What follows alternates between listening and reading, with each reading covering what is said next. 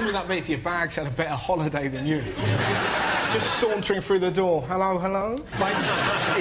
in, in brand new designer clothing. I've been to Milan. Uh, I'll take an espresso. My bags in that context, I take it you mean luggage and not testicles. Depends what you pack for your, depends what you pack for your holiday, Frankie. Just a lovely image of you You usually swinging, check going. your testicles in. If I just take them onto the plane with me. Not if they contain more than 100 millilitres of fluid. Uh, yeah, People don't really. The baggage is a whole world. There's a site on the internet uh, that I happened to come across called. Um, Go on. It's called the Dull Men's Club. And on the, How did you find and on that? the, someone told me about it. And what they do on the Dull Men's Club, I haven't- this was about two or three years ago. On the Dull Men's Club, it's essentially a list of all the world's airports. And they list all the baggage carousels, and they tell you whether the carousels go clockwise or counterclockwise. Fantastic. You can just type in Lima, it says Terminal 1, clockwise. For example. I thought they're reversible. Aren't they No, no, no, no, no. The flaps, you know, the can't, they can only go one, one way I've around. seen one go backwards. I swear I've seen one go backwards, and, and it's not a dream because I have more interesting That's dreams than that.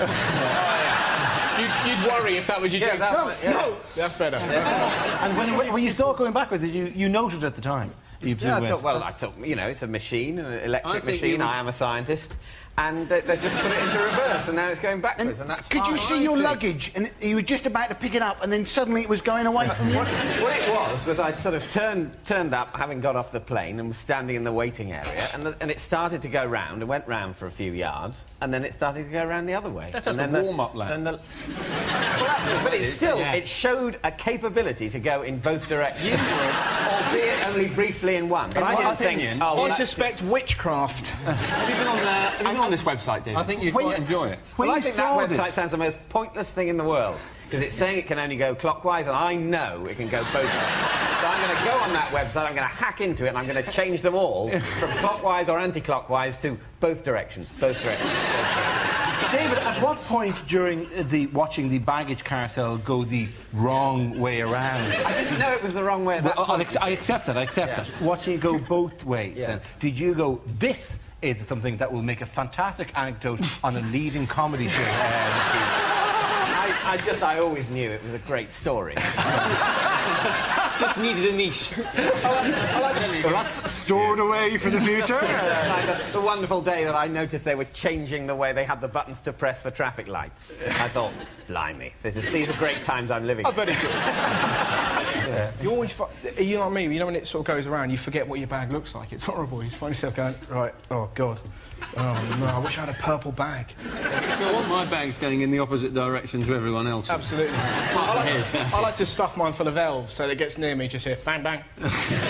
Cheers, Gideon. what the Mr. elves- Howard. Let's get you some Horlicks. Thank you. Um, but once, the worst, I, I went for a wee just before, and. Um, you know, in a toilet, not on the couch, I'm not a beast.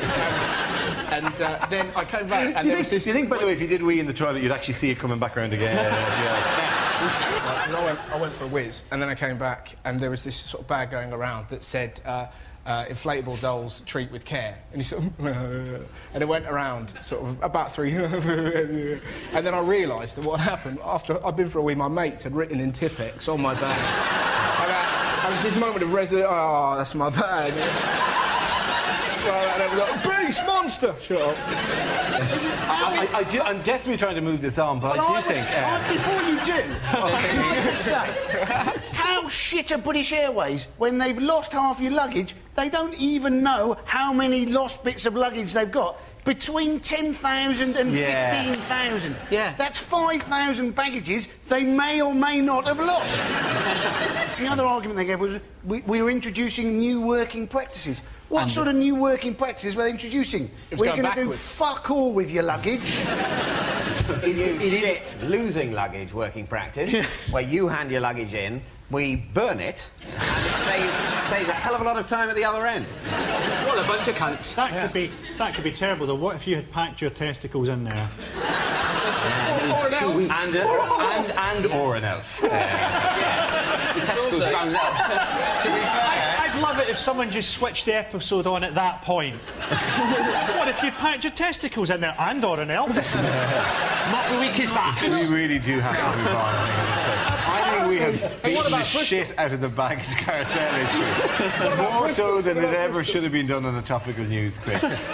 So let us move though. on. But actually, first, why is it called a carousel? There's no fun element to it. Uh, so, The early ones used to have horses on them that went round and round. that you could ride on, like in Oh, Mary fucking shut up about carousels. the only reason. The only reason we're talking about this is because Hugh looked at some boring fucking website instead of six hours of cock hungry teens like a normal man.